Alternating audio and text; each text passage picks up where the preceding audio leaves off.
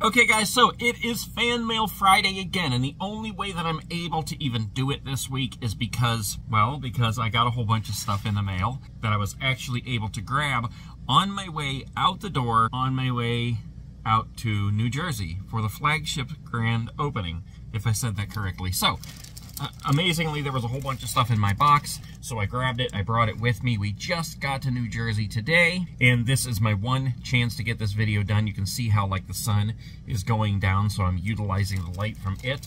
But I'm going to show you what I got here quick. I got this package right here, and there was a message online because this does not have a return address except for fun.com. Okay. so this one, though, I know comes from a Zyn in Australia. And we're going to open that in just a minute.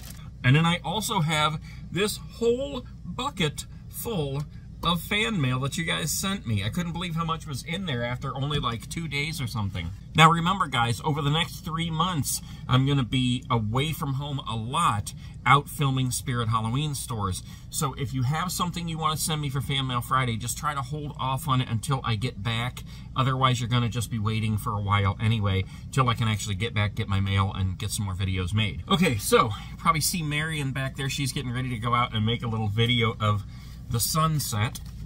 Man, look at this. Guys, there are so many letters here. One, two, three, four, five, six, seven, eight right here. We have another like four in here. And then we have the big package right here. So let's go ahead and get started with this.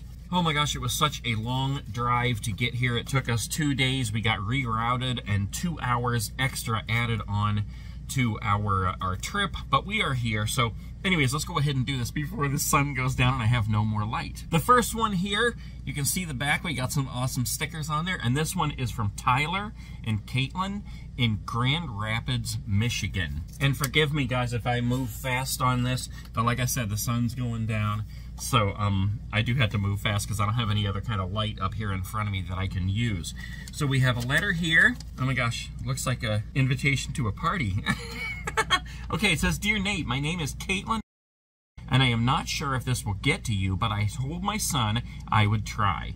My son Bennett is turning four soon and wanted to make sure I invited you to his birthday party that he will be sharing with his younger twin brother and sister who will be turning two. He doesn't even watch anything scary, but we are always watching your videos at the party stores and he loves them. Every time we go by any Party City or local Halloween store around town, we have to stop and see if we will run into you. That hasn't happened yet. But we always check the pumpkins to see if we come across your stickers. I did try ordering your stickers one time, from a random site. However, when they came, Bennett was quick to say, that's not Nate Guy. What in the world? I wonder what that's all about. I don't expect anything to come from this invite, but if it does make it to you, all I ask is that you email me a website that I may be able to get your stickers. I wonder what happened with those stickers. That is so strange. Someone is bootlegging Nate Guy stickers. I will definitely email you and I will send you um, the correct website to get those stickers. We will keep an eye out for you. All right, that is awesome. Thank you for what you do. And then I'm not going to show you the information on here, but here is the invitation to the party. Very cool.